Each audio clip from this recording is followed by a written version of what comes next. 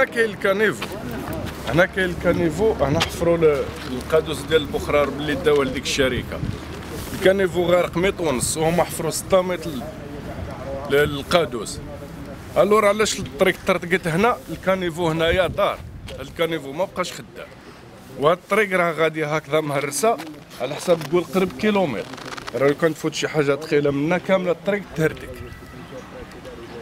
وبغاو يحفروها لها عاودة بغاو يطرطقوها يحفروا لها من تحت ويفوتوا القادوس ديالهم. تفوت شي حاجة ثقيلة الكرش غادي دير الطريق الكرش ما بقاتش خدام. غادي تزيد طرطق تولي تفزع المشكل هذا ما عرفناش من راجع حنا هاد الطريق لو كان تفوت شي حاجة ثقيلة غير نتاع 14 tonnes راه كامل غادي تهرس هكا كاع غادي يطيح هذا النص هذا كامل يمشي. كي ما تهدمت بهم هنا نقلوا التراكسات. دخلوهم لداخل كيدخل لها ما بقى طريق هذا ما ضرباش حتى نص عام ما كاملش واش هذه الخدمه هذه بغى يخدم هذاك اللي هي راه بعيد 6 متر ولا فايت 6 متر يمشي. هذيك هي عنده تسع فين يخدم. عندوش القادوس راه. ماشي قانونيين. دايرين هاد القادوس ديال البخرار اللي داوهم لنا ماشي قانوني حاجة قانونية تخدم بالليل؟ الحاجة القانونيه ما تخدمش بالليل. تخدم بالنهار. هذا راه خدموه بالليل.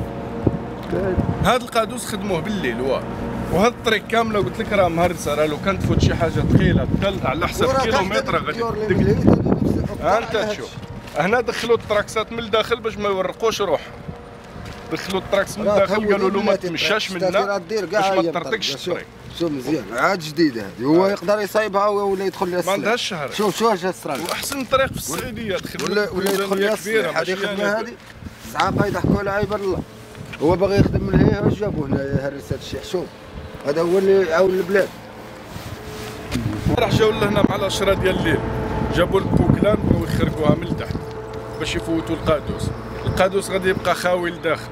غادي تفوت شي حاجة ثقيلة غادي تعوج الطريق. غادي تولي تهدم.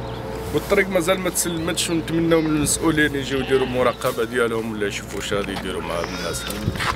وهاد الطريق راه 30 عام وحنا نستناوها وما ولاو يفلقوا فيها. ما عندهاش شهرين. وراه كاع طردقت كاع ضيعوها. الديور يحفروا لهم على الجدر من تحفر للدار انت 6 متر ما غاديش تهزز ما تطرطقش وتحفر بالبوكله وبالليل. هذا القادوس مفوتينه بالليل. ماشي بالنهار. لو كان كان قانونيا غادي يفوتوه في النهار ماشي بالليل. وهذا الشيء راه فوضى. وعينا ما نهضروا ما كانش اللي اللي يعاونك ولا اللي يهضر معك ولا. بني اليوم وغداه الدم ما كان مشكل. شوف الضوء مش على بالهم شي طريطوار ولا بشي حاجة ولا حفروا راه